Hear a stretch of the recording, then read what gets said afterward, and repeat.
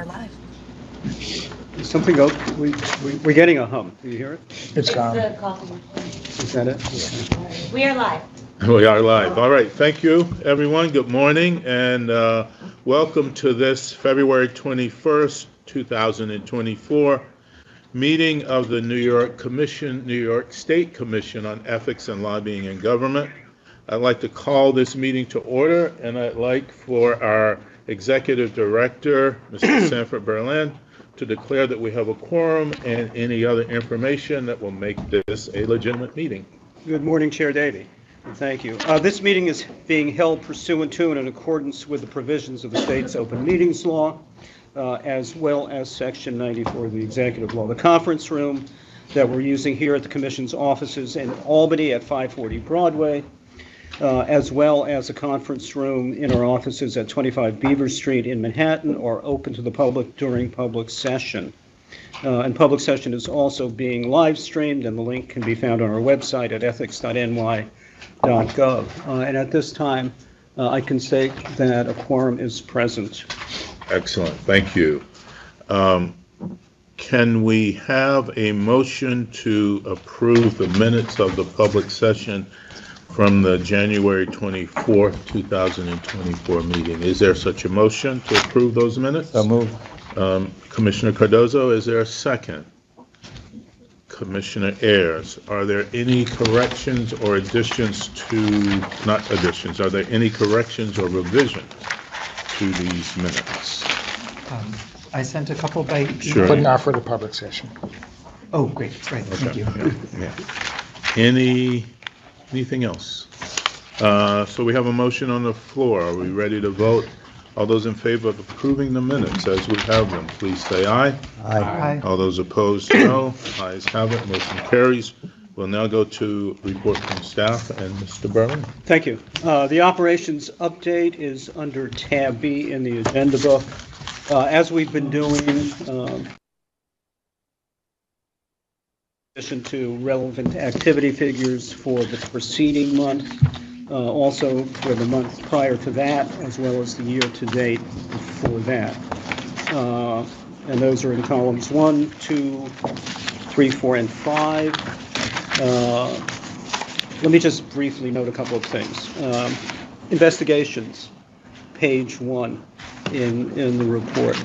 Uh, You'll see that we received a total of uh, 13 tips, complaints, and referrals in January, uh, and a total of 13 matters uh, were closed. We are now, uh, we have not been doing this previously, uh, listing the number of continued matters, that is, matters carried over from the prior agency uh, that were closed during the reporting period, as well as the number of matters closed uh, since the inception of, of of this agency. So we're reporting those separately, so uh, commissioners and the public can, can see how staff is working their way through the caseload.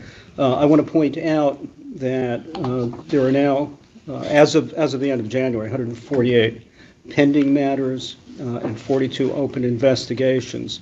That compares with, at the end of December, at the end of last year, 147 uh, pending matters and 43 open investigations.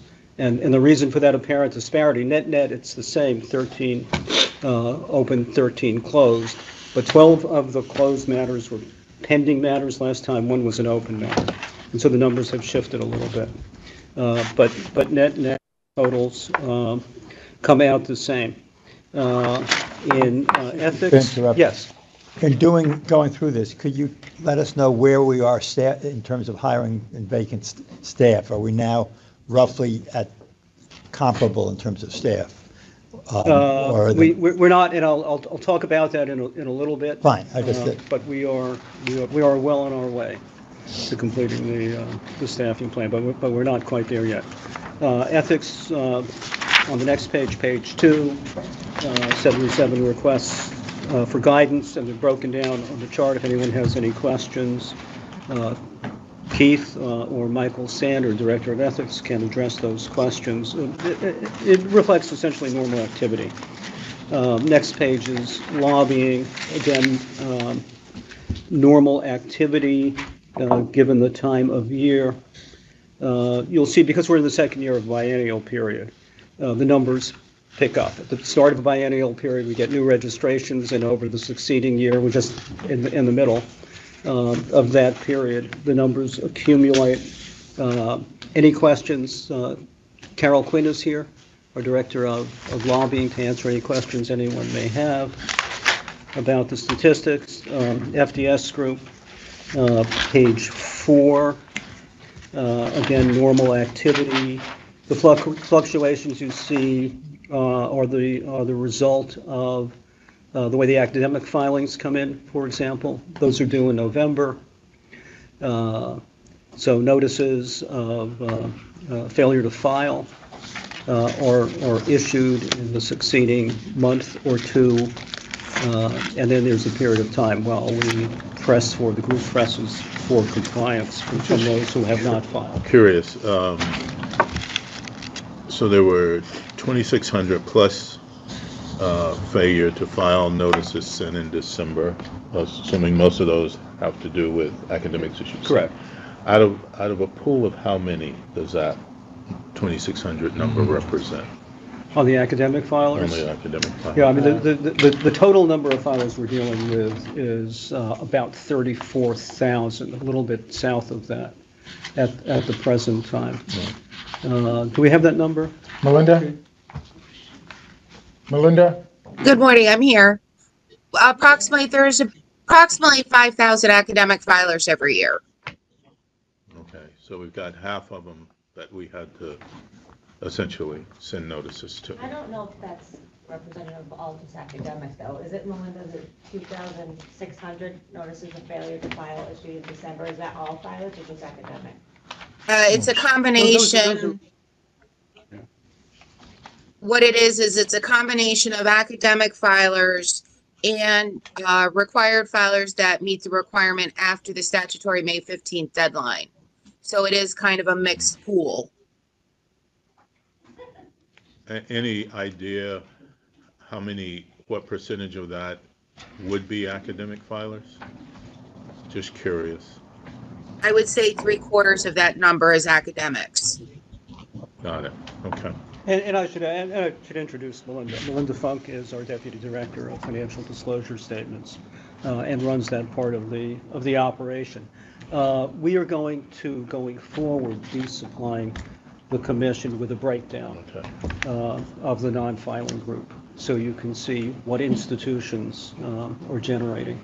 Great. Um, Frankly, more work for the group. Sure. In, in doing the follow-up. But I assume that most of those people come into compliance and actually file then eventually? Or are we after them for an entire academic year? Most of the times with the assistance of the agency, we do get compliance. This year has been a tough year being short-staffed with really only two of us doing the work of four. But with the mm-hmm. issuance of the June failed the files, which we had over forty-eight hundred, I ended up issuing seventy-four notices of delinquency between December and February to wrap up that year. And now I'm working on wrapping up the remaining and just issued another 37 notices of delinquency yesterday. No. And that would be for failed files in December. Okay, so the general sense though is uh, like the cat too. But but the general sense is. She knew that would happen. Right, right. You're trying to distract me, but you're not going to get me off my line of questioning. But the general sense is that the people, these folks eventually come into compliance. Correct. Okay, thank you. You're Yeah, and welcome. I I should add, we do have, we we certainly have enforcement powers if if there are failures to file. But Right. but sooner or later, everyone uh, bites the bullet and and they make the disclosures. And they're in the system. Right. But but it does, it does take a- a lot of effort. And as we've discussed previously, we are restaffing the group. Uh, We had some uh, key losses Sure. uh, over the past year. But Melinda's doing a terrific job of catching up Great, with with Thank all of you. that. thank you. Uh, Unless there are any other questions, thank you, thank you, Melinda. Unle- Unless there are any further questions on the FDS uh, figures, on training, I do have an update. Uh, One thing I should point out is, uh, earlier this month, February 6th, I think was the day, uh, we rolled out, started a uh, a new- a new vehicle for agency ethics officers to enter their data um, into our system directly, so we can track uh, the numbers of individuals coming in. It's taking a little bit of time for everybody to become accustomed to that system, uh, and it will become more sophisticated uh, later in the year, uh, by mid-year, uh, is our target when, when the full system is in place. And we've introduced more automation to the process of monitoring uh, and tracking compliance with the, the now universal training requirement. Remember, we've gone from training 30,000 some odd FDS filers every three years to training 330,000 uh, individuals, everyone in the executive uh, branch of government every year. So it's a big step up.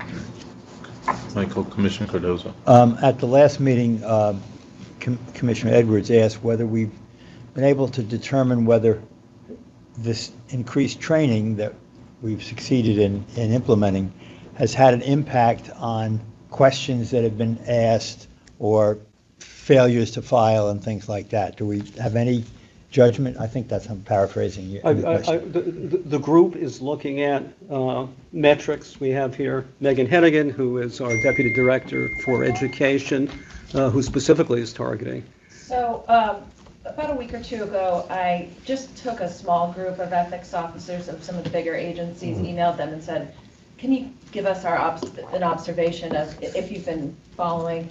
A Few of them said, yes, definitely more, um, uh, guidance requests within their agency because, you know, we only get a certain amount, but all the ethics officers are doing so many more trainings than we can physically do. So um, we are about to, uh, Marlena and I, uh, my co-deputy director, we're about to send out a survey to get everyone. And we're going to ask a whole bunch of different questions, Great. including, you know, have you had more internal um, enforcement actions, things like that. So we are about to do that. Thank you. Great, Thanks. Yeah, but bear in mind, we, we do get guidance requests, any, anyone uh, in the state workforce can call in. Those who are required to come to us are policymakers, uh, agency heads, statewide uh, elected officials. So we're only seeing, as Megan is pointing out, uh, in a mandatory way, those who are required to come to us. But the agency ethics officers, and bear in mind, there are almost 400 agencies in the executive branch, uh, they, they do the brunt of the work. Uh, And in fact, most of those who come to us first have to go to the agencies uh, for, for guidance. I just wanted to point out that uh, in the chart on the work, number of workforce members who receive live agency training, the number has ticked up as, as more data comes in. So uh, the chart had indicated 1,372 individuals had live training.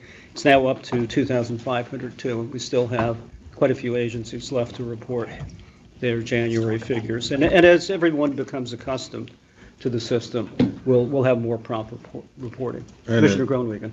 I'm sorry, I go just have ahead. one question. Um, Listening to what um, Megan was saying about the questionnaire, is that something you're doing uh, with the input from the Education Committee? Since I know they're interested in looking at the Yeah, questionnaire. we were scheduled to meet uh, before this meeting. Oh, okay. And that didn't work out for a lot of reasons. But, but the committee will be Yeah, I'm working meeting with. Th- th- This is, out- this is being done in coordination with, with the committee. That's one of the commit, committee's uh, missions, is to look at the question of, of measuring the impact Right. and the efficacy of, of the ethics Right, training. and I thought, yeah, I just want to make sure that. Yes. Thank you.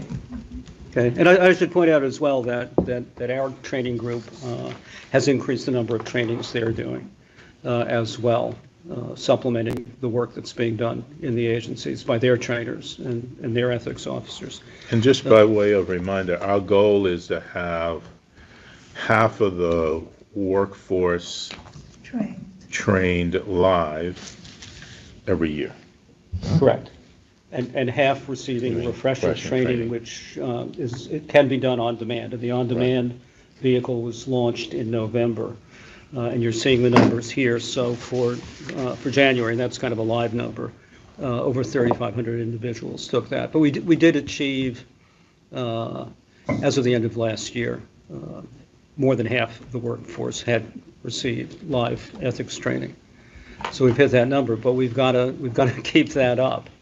Uh, If you look at the, count, we have to be training live between 13 and 14,000 individuals a month to keep up uh, with the number and a comparable number every month uh, for refresher training. Uh, And, and the goal is to have this system working uh, and everybody in compliance by the end of 2025. Uh, But we've made a good start and we're well on the way, but there's still a lot of work to be done.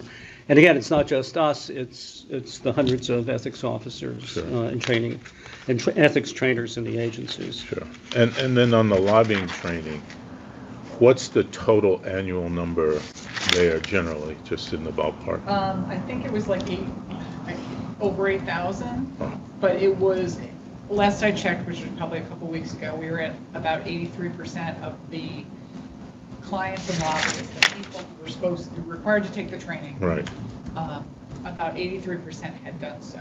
Okay. That's kind of as high as we've gotten, and that seems to be remaining steady, Okay. which is why we have the, you know, on our legislative agenda, hopefully to get some enforcement capabilities, some, some penalty uh, Mhm. authority to make it up to hundred percent. cool, okay, Because we, they get reminders, you know, we're reminding them. Right. It's not that we're not telling them that Sure. they're delinquent, it's just. I just need a little more incentive, Yes. yeah. But, but that, you know, that's another 12,000 individuals, and we have the lobbyists and the clients. Right. Together, and the number grows through, as, as the biennial period progresses, more people come into the system who, who require training.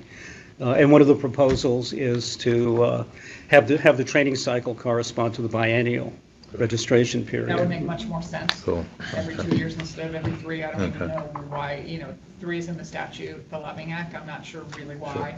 um, Because it's a biennial registration um, cycle, so it really makes sense to have it every biennial. Okay. And is that one of the, ch- we'll get into this, I know, but is that one of the sort of changes you propose for us?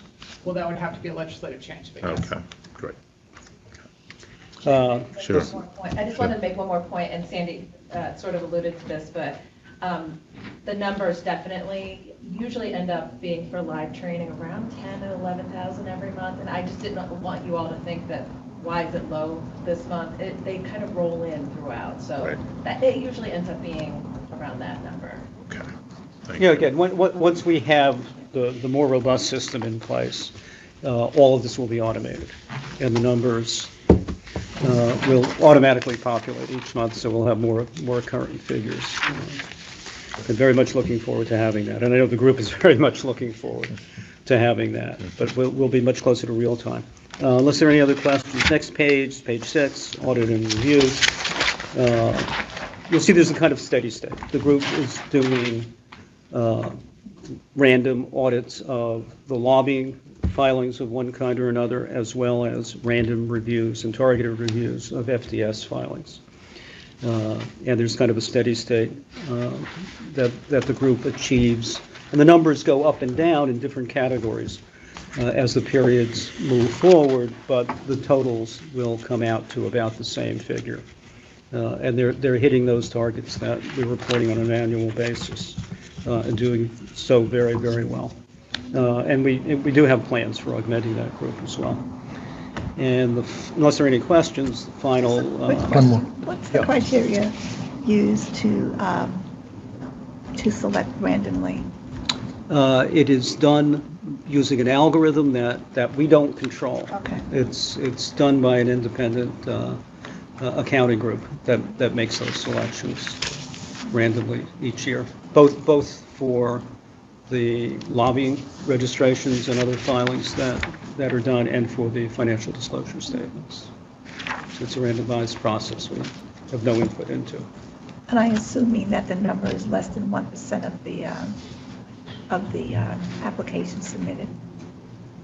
We- We're doing about 800 on, uh, it's, it's, it's over 200 on the FDS side, over 200 targeted audits, and I think another, is it 800?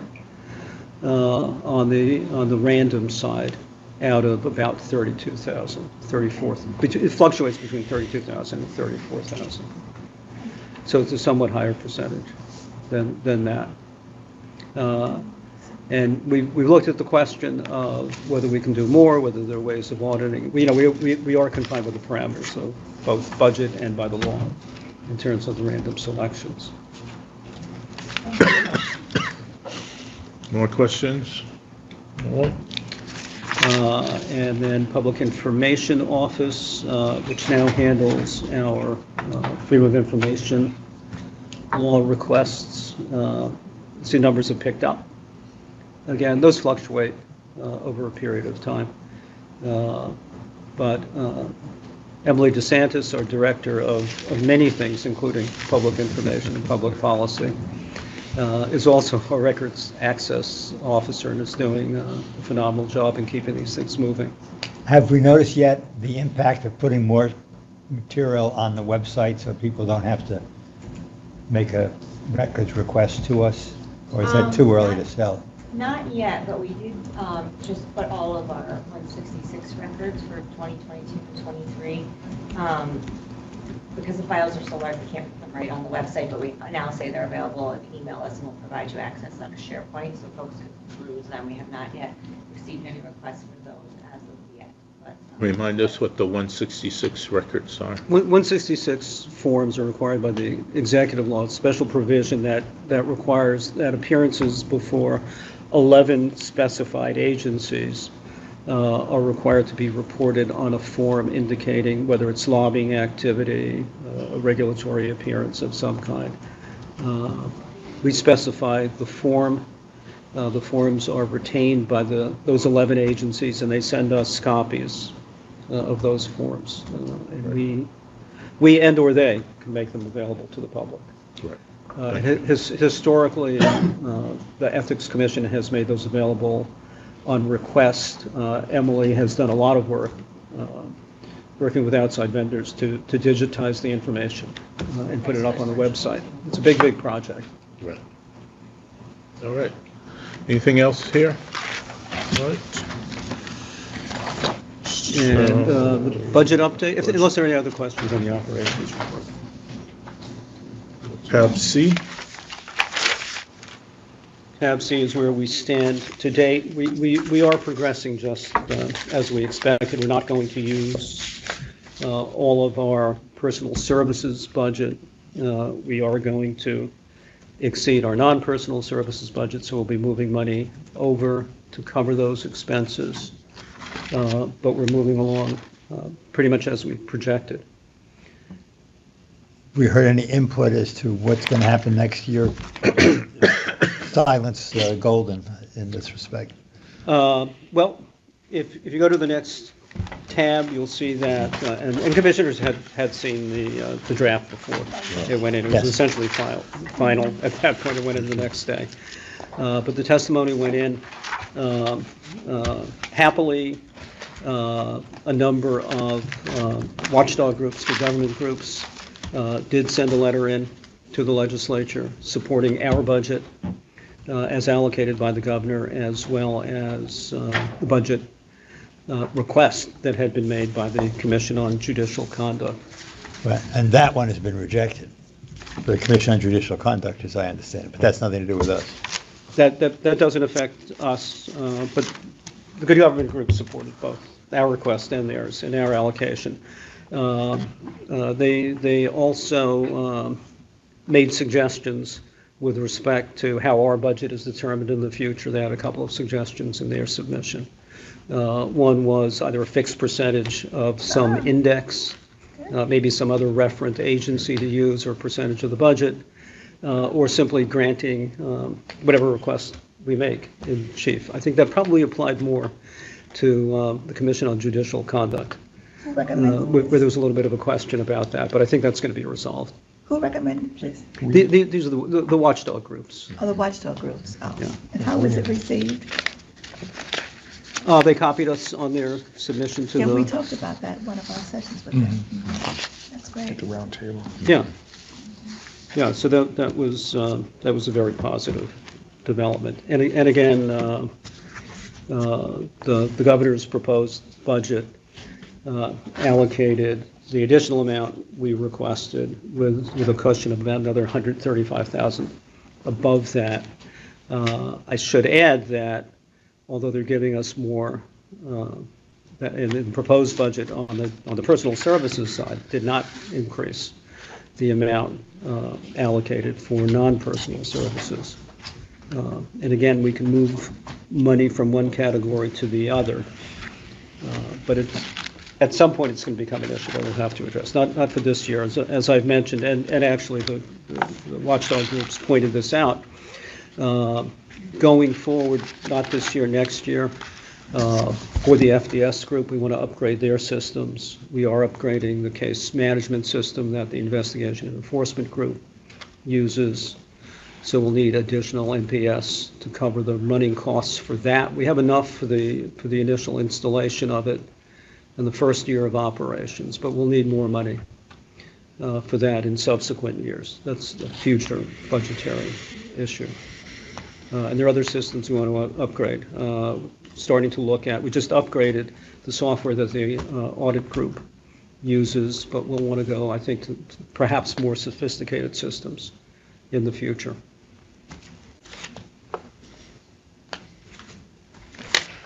Questions or comments on anything we've heard so far?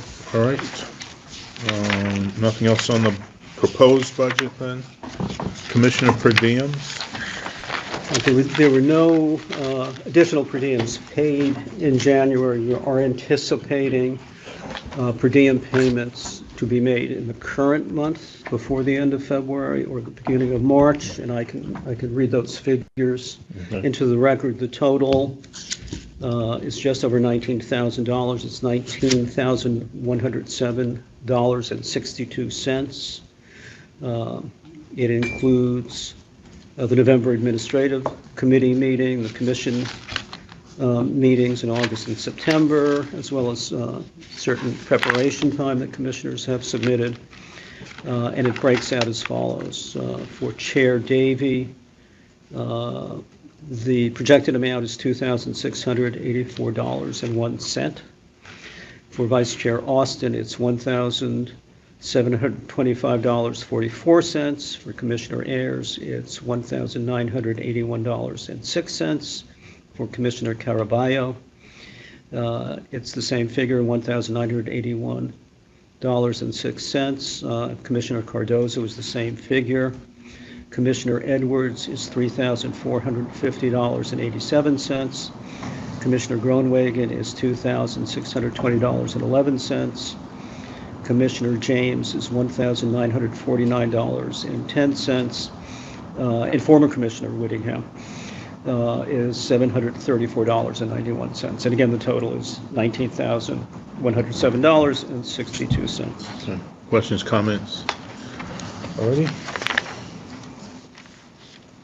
And uh, tab E, tab E in the book uh, contains a news release that uh, uh, our information office issued uh, several weeks ago listing our 2023, the commission's 2023 accomplishments. Uh, And we we discussed these figures at the prior meeting, but I, but I, but I do think they're impressive. Yeah, I agree. Uh, Notwithstanding the challenges Right. we've faced, uh, short staffing at the beginning of the period, increasing through the period. Uh, Again, we're not fully there, uh, quite a bit. I was I just think we accomplished by the should commission. add a compliment to uh, Emily and her, her staff that we're much more proactive in this respect than we had been, and I think it's having a, a positive long-term effect at the same time. So keep up the, of course, we'll keep up the good work, and then you, it's your job I to. can tell to people publish. about Right, right, Here, here. I, I, I, I- I would second that, and I would also add that it's a key part of our mission.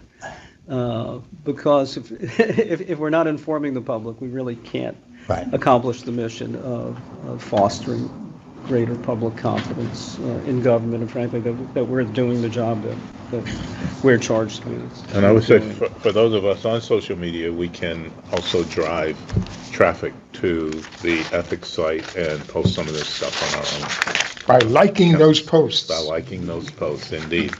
Uh, both in LinkedIn and, and uh, Twitter, Facebook X. and X, right. And we're on Instagram now as well. Oh, really? Okay. Oh, I'll find you on Insta. But that interferes m- with my daughter's post. We don't want to do that. Yeah, I'll just put lots of pictures of Commissioner Cardozo on those posts and then she can.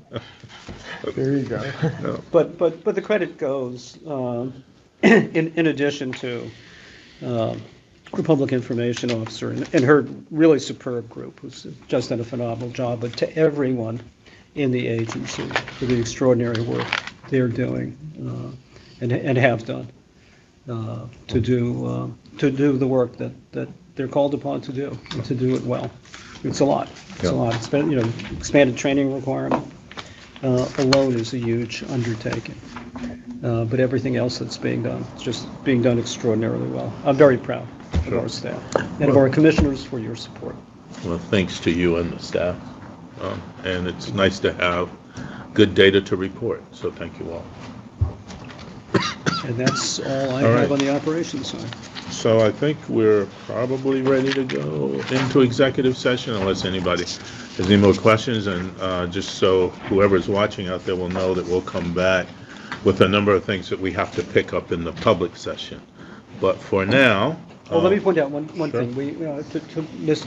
Commissioner Cardozo's point, uh, we are actively recruiting for a number of positions at this time, and, and I commend the public to the website, uh, where we are listing positions, as well as New York Jobs, uh, if there's interest. Uh, I hope there is, in coming to work for us Right. and with us. Great. Thank you. All righty. So is there a motion to enter into executive session pursuant to Public Officers Law, Section 105, and Executive Law, Section 94, subsection 11, to address matters concerning employment of personnel, pending litigation, and investigative and enforcement matter that is confidential pursuant to Section 94 of the Executive Law? Is there such a motion? Commissioner uh, Edwards, is there a second? Commissioner James, ready to vote. All those in favor of adjourning to executive session, please say aye. Aye. Opposed, no. Ayes have it. And we are adjourned to executive session, and we'll be back uh, hopefully in a couple hours uh, for the, uh, maybe more than a couple hours, for the public session. Welcome back to the um, public session of our um, February 21 meeting of the New York State Commission on Ethics and Lobbying in Government. Uh, We'll ask our Executive Director, Sanford Berland, for a readout from the executive session. Thank you, Chair Davie. Uh, In executive session, the commission discussed matters related to litigation and legal advice. The commission discussed matters related to um, pr- procedures involving personnel matters. The commission addressed legal advice related to guidance matters and legislation. The commission authorized steps in three investigative matters, closed four continued matters, closed 10 colleague matters, uh, and discussed several other investigative matters. Thank you. Thank you. Um, I'm now going to turn to Commissioner Ayers for a report on our comprehensive review of rules, regs, and other um, guiding Yeah. uh, documents, et cetera. Thanks. So I just wanted to say briefly, um, all the commissioners now should have received by email the staff draft proposal, which describes a way of going forward with the comprehensive review. Um, I think it's really good. I think it's, it's very thoughtful. I had circulated a proposal of my own earlier, um, but I encourage everybody to consider that. I mean, you're welcome to read it if you can find it, but it's no longer the operative proposal. The staff proposal is the operative proposal, and if I understand uh, the chair's plan correctly, the idea is that everybody now, you, you have it, so we have a month to take a look at it, to think about it, and at our next full commission meeting, um, we'll take that up and have a discussion. My, my strong hope is that we can vote to approve that process and to get started at the next um, commission meeting. So I'm, I'm hoping that everybody will take some time to read that over the next week or two. And if you have thoughts or concerns, circulate them to all of us by email um, so that um, Sandy and staff can have some time to think about that and react. But a lot of work and thought went into that um, proposal, which I'm really grateful for. And I, I hope that we can um, move the process forward by, by voting to approve that proposal at the next meeting. I don't know if you wanted to add anything, Sandy, but.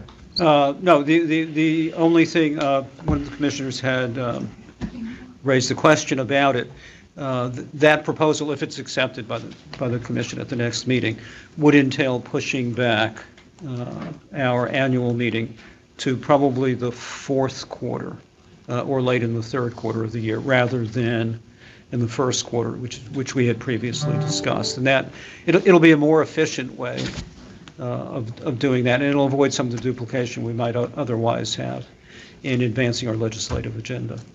And more substantive, I think, feedback as well. And- and more That'll be substantively. Based on what comes out of the review.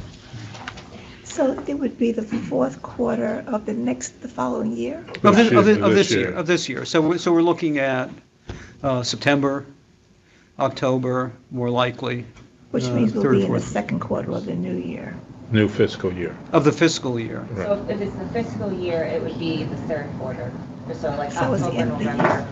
Yeah, we were- we're talking about the fourth Yeah, calendar quarter, uh, October-ish, maybe September, October. Yeah, October. depending on how far we can get in the, in the process. Oh, Okay. we'll talk about that, right? You want to talk about that now or later? Well, we, we thought we would talk about it At at, the at the, meeting. at the next meeting, but Okay. I'm happy to talk about it now if there's That's time. okay. There's no time. And then, uh, so we're good with, we're okay there? All Just wanted right, ask everybody to do the reading and, and get the comments going great. and uh, juice it up.